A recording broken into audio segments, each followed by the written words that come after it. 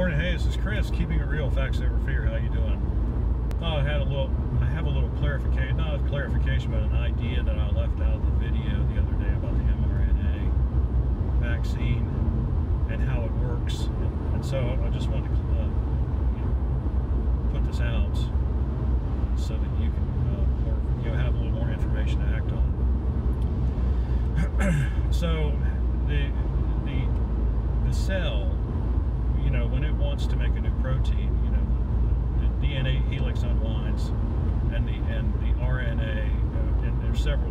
It's it's complicated, but basically, the helix unzips itself, and then the RNA picks up the information from the unzipped part, and then goes out into the cytoplasm, and then the the processes in the cell, and I'm I'm not going to explain all that because I can't, but the processes in the cell take that fragment mRNA, and they do what they do, and out comes a protein. And so that is the way things are supposed to be.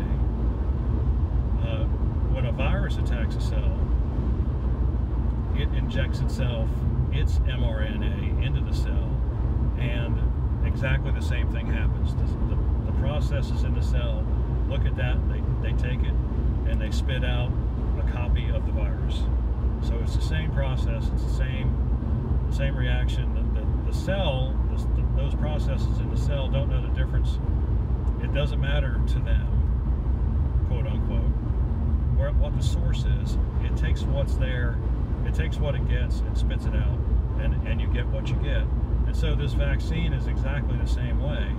The only difference is the mRNA is coming from, well, like a virus, it's coming from outside the cell but it lacks the ability to inject itself in. And so scientists have figured out a way to encapsulate that to get it in to get it inside the cell. But once it's inside the cell, the processes that are in the cell treat it exactly the same way as if it came from the nucleus or if it came from a, an actual virus. It's all just kind of automatic. It's like it's like putting instructions into a computer, you know, you put in code and you get something out, it doesn't matter where the code came from. It's not a really great analogy, but it's, it's the only one I can really think of right now. Uh, like a CNC machine, you know, computer controlled cutting machine.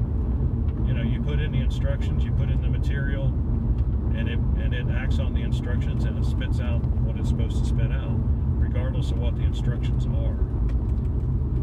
Unless the instructions don't work, and then it won't spit out anything. And of course, you know that's that's part of the deal with with this with this vaccine, and I'm sure that's one of the reasons why it took a little while to develop it, is because you have to figure out which instructions work first, and then you know then you know what to encode into the mRNA, and so then and the other thing I wanted to say was that the mRNA in this case for the for the vaccine is it's not being developed from some from living tissue or anything like that. It is being built it is being synthesized in a lab, which is one of the reasons why they're going to be able to get so many doses out so quickly.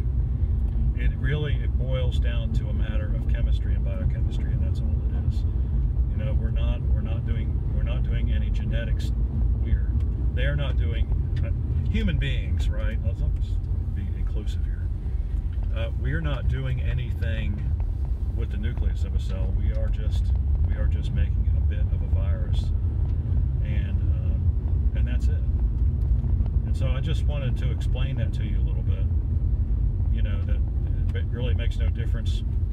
The cell does what the cell does. In other words, is is my first point. point, and the second point is there's there's nothing fishy going on in regards to genetic engineering. This is not this is not genetic engineering. This is not going into the nucleus and, and messing with anything, messing with chromosomes or messing with sequencing or anything like that. So, which gives me, you know, makes me feel a whole lot better about the virus. And, you know, like I said before, the only question is, we this has never been done before, and so men, we tend to make a lot of mistakes.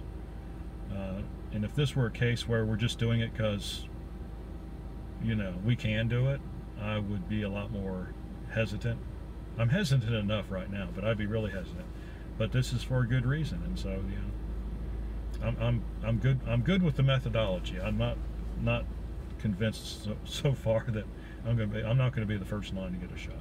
But anyway, I just wanted to explain that a little further. Hope that helps. Uh, if you have any questions or comments, leave them in the section below. Like and subscribe. We appreciate when you do. And we'll see you on the next